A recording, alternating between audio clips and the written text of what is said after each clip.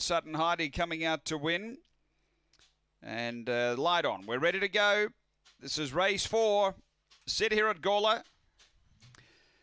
Racing and speed out deep. Mombasa Main came out running. He's going to cross them going to the first bend. Mombasa Main gets clear of Emily near at a second.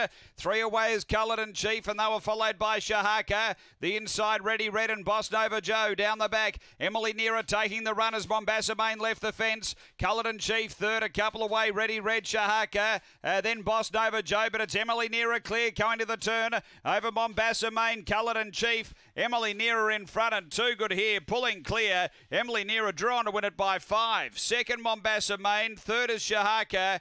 They were followed behind those by Culloden Chief, Ready Red, and back at the tail, Boss Nova Joe. The time is uh, 31.12 after the running of race four.